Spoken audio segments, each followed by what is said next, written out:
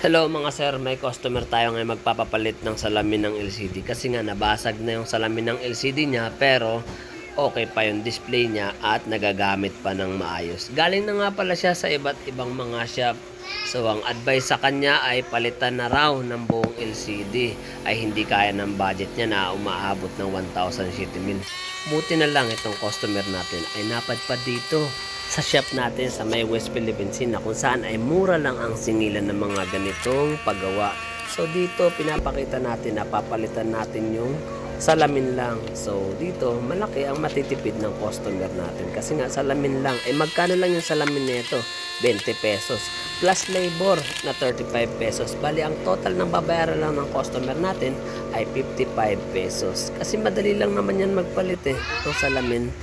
So, eto nga pala yung gagamitin nating salamin.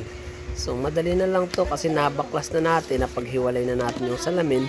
Ang gagawin na lang natin ay ipapatong na lang tong salamin doon sa nabaklas na LCD. At ito na nga pala yung kanyang finished product. So, ayan o, tignan nyo naman o. Diba? Parang walang nangyari. At saka ang kagandahan yan, original pa rin yung kanyang LCD. So, salamin lang ang pinalitan.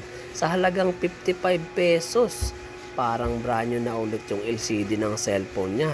Sobrang laki ng natipid ng customer natin kaya sa tuwa ng customer natin ay nagbigay siya sa atin ng tip na 20 pesos.